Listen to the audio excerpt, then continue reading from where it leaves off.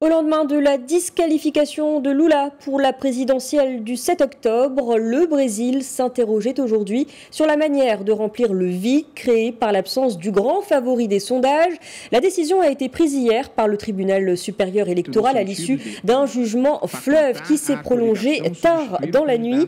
La juridiction a déclaré Luiz Inácio Lula da Silva inéligible par une majorité écrasante de six voix contre une en vertu d'une loi qui interdit toute personne condamnée en appel de se présenter. Incarcéré depuis avril pour corruption, l'ex-président de 72 ans ne pourra pas briguer un troisième mandat. Son parti des travailleurs a 10 jours pour choisir un successeur à son leader politique. Les précisions d'Armel Enders, historienne spécialiste du Brésil.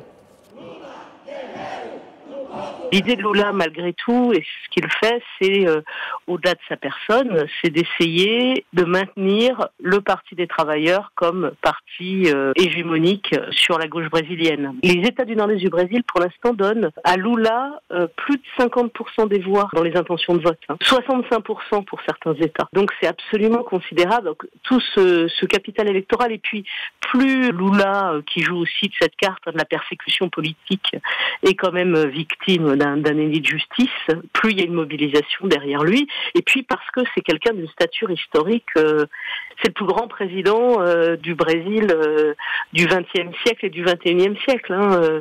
En revanche, ce qui risque de se passer, si Haddad gagne les élections, je vois très mal la droite brésilienne accepter son élection. On risque d'avoir quand même quelques nouvelles turbulences du type ou intervention militaire ou destitution de Haddad dans les six mois.